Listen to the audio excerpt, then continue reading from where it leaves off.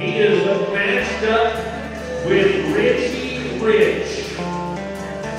Bucket chute number three. Jace Angus, you ride this fucking horse here to meet our president with a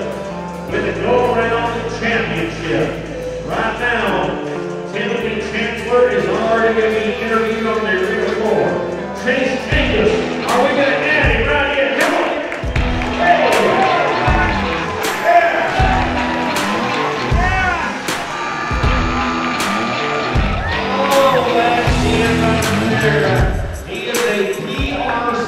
him